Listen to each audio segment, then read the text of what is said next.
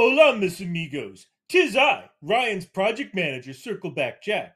There was a sale at the Coke Zero store today, so Ryan won't be joining us. Instead, I, project manager extraordinaire, Circleback Jack, will extrude my knowledge on SQL joins. Hit it!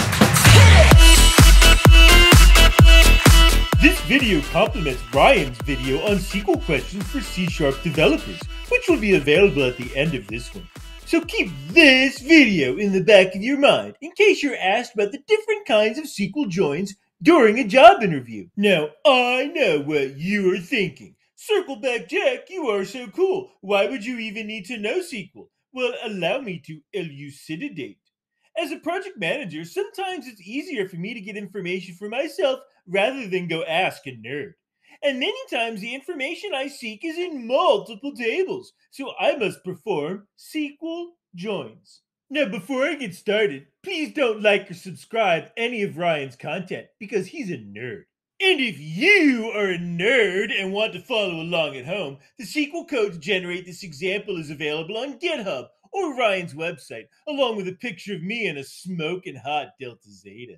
And if you want to follow along and don't have SQL, you can always just go to SQL Fiddle. Just be sure to select Microsoft SQL Server. That way the examples work correctly. So let's say we have a database called Party, and there's two tables in Party, Frat Boys and Beers. So if I do a select from Frat Boys, I get a list of all Frat Boys, Circle Back Jack, Chad, Tad, Brad, and Rad.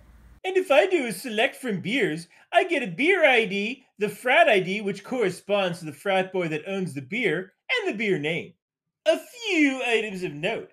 There are some beers that are not claimed by frat boys yet, so they can be in the drinks table with no owners at all as null. And keep in mind that since one frat boy can have multiple beers, frat boy to beers is a one to many relationship. And since here at Beta Beta Beta we pride ourselves on inclusivity, there may be some members of the frat boys table who don't drink alcohol, so they won't have any beers at all. So let's say we want to list everyone who has a beer along with their beers. That would be an inner join. You can see every frat boy that has a beer is listed along with the beer that they own.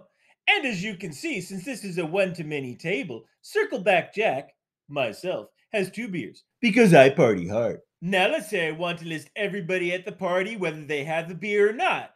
But if they have a beer, list the beer. That would be a left outer join. So now let us perform our left outer join.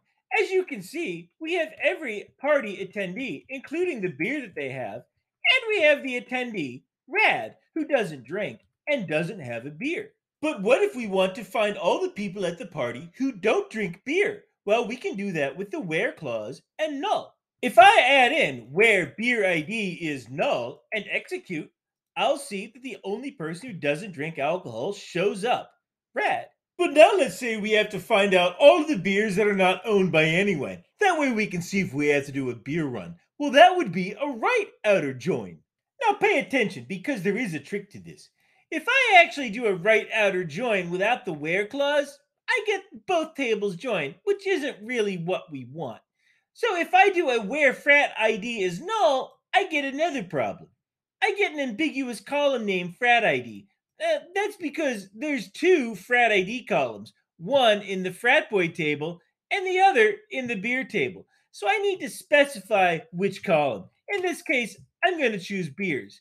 And now I get a list of every single beer that remains. Now I know whether we need to go out on a beer run. Now let us say we need to join all beers and all frat boys, listing beers and their owners where appropriate. That is a full join. Now we have a list of every single frat boy, their appropriate beer if they have them, and all of the beers. So to recap, an inner join lists all frat boys and their beer. A left outer join lists all frat boys and their beer, whether they have one or not. A left outer join with a where clause lists all frat boys with no beer. A right outer join lists all beers unclaimed by frat boys. And a full join lists all frat boys and all beers. If you remember this order, it may help you if you are ever asked to define joins in a job interview. I hope you have learned something today. Now let's party. Hit it!